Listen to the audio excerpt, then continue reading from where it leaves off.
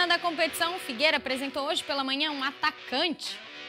Odilávio, 23 anos e chega por empréstimo até o fim da temporada, cedido pelo Náutico. Time onde o atacante atuou em 19 partidas e marcou 4 gols. E ainda conquistou o acesso com o time pernambucano da Série C, a Série B 2020. E quando se fala em situação complicada na tabela, Odilávio passou por algo parecido no Náutico.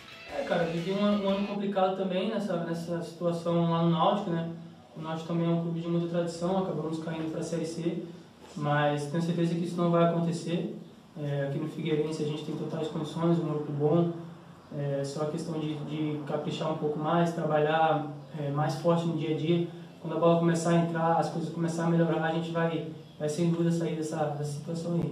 E para que essa cena não se repita, o Figueira tem pela frente 13 jogos. Na matemática, se ganhar todos em casa, que são 7, o Furacão permanece na Série B. E o próximo confronto é amanhã, no Orlando Scarpelli. Confronto direto com o Oeste às 7h15 da noite.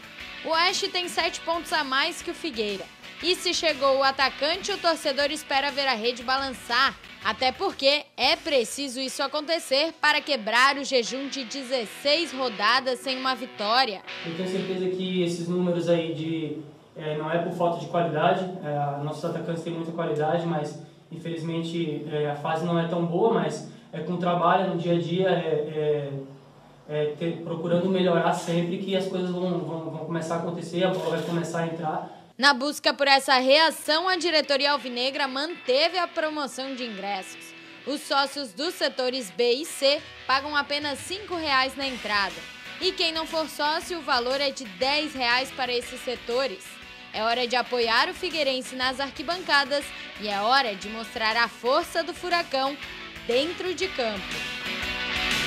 Eu te espero amanhã, meio-dia e 30, aqui no Jogo Aberto SC. Tchau, tchau.